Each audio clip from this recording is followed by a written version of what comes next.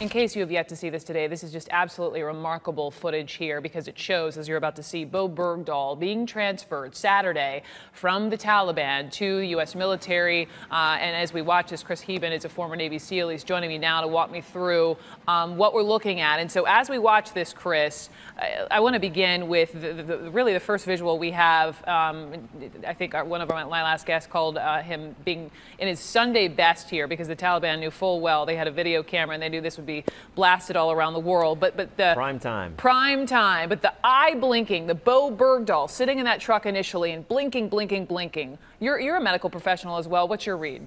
Yeah, he is very nervous. He doesn't know what he's walking into. You know, when you're a captive for five years, a little bit of that Stockholm syndrome comes into play. Well, a lot of the Stockholm syndrome he, he didn't know what he was being handed over to. Yes, they were Americans, but I think he knows in his heart of hearts that, that, is, that he walked away from that post and he's hmm. like, geez, what's going to happen to me when I get to the other side?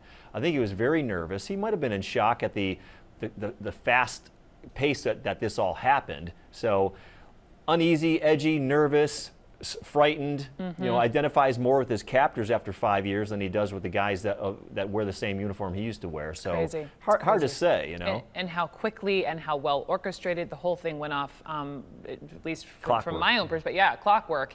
And and the the fact is, we watch some of the U.S. Um, special forces. You see them sort of facing the Taliban as they walk back toward the helicopter before turning around. Two different times, you see some of those guys patting Bowe Bergdahl down. What, yes. what, what would you have taken a little longer with him? I would have taken a, a lot longer. Um, you know, people say, hey, you want to get off the X. But you know, you've got two AC-130 gunships circling in the sky. You've got armed men on that helicopter that are scanning left, scanning right, what we call looking for work, which basically means you're you're looking to squeeze a trigger on someone because they're doing something you don't like. Hmm. I would have had that guy. I would have slammed him down on the ground, checked every inch of his body front, back, and sideways before I put him anywhere near that helicopter. That's what we do with friendly pilots that we know have been in the field for two hours, three hours after their mm. plane went down. Let alone we search the their entire body. Right. But, right. I don't trust the Taliban. We like to, and, and yeah, we never turn our backs to the enemies. We like to look our enemies in, in their faces. So that video was very, it was very impressive. Things about, went down fast. What about quickly, just Chris, the handshaking, the hand over over the heart, and then the left hand wave?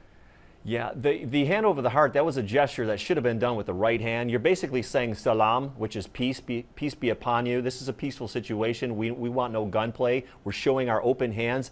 The left-handed waving, that's worse than a fashion faux pas. That is like a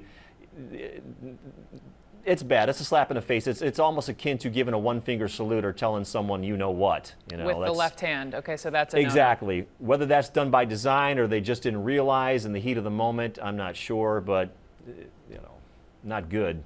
But, but who cares? Right. I mean, it all went off, and we, they have Bowe Bergdahl sitting in Landstuhl. Uh, exactly. Health, uh, the number one priority. Final takeaway. What else am I missing? What else am I not seeing? Well, here's what we're, we're basically seeing everything. I'm glad he's back okay? But let's get to the facts of the case and see what happened. Why did he even leave? Where did he get, how did he get to where he was? Mm -hmm. You know, and, and also my, my last parting comment is, let's go get that Marine Sergeant in Mexico. Let's bring him home too. Hmm. Chris Heben, thank you so much, former Navy SEAL, for joining me. I really appreciate it and your expertise.